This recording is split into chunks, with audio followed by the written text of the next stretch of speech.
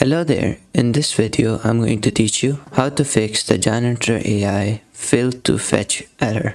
This failed to fetch error can be because of a lot of reasons, but one of the most common ones is your cache or your browser cache.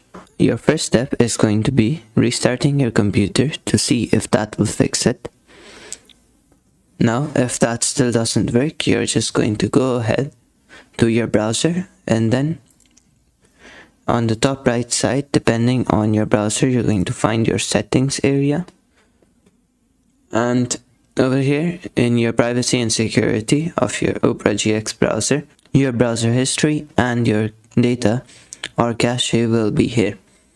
Now you can choose to just delete everything or go in the advanced option and only delete your cache and cookies. And that should fix it just clear your data, restart your browser, and then go into Janitor AI. If that still doesn't fix itself, then you're going over to your bots and the one that you talk to, you're going to reattach your API key. I'm not logged in right now, so I can't really reattach it. But all you're going to do is reattach your API key in case you've got something wrong and that should fix it. That sums up the video.